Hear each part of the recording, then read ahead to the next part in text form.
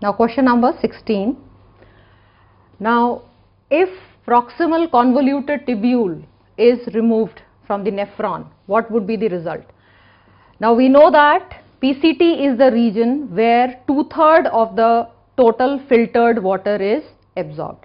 So if PCT is removed that two-third water cannot be absorbed.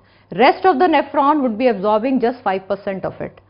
Remaining 70% has not been absorbed. So that's why the urine will be more dilute.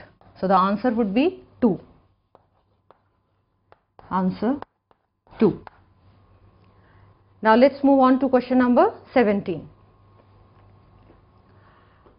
A gymnast can balance his body even in a dark room upside down because of now here organ of Corti, cochlea these are part of the internal ear concerned with hearing.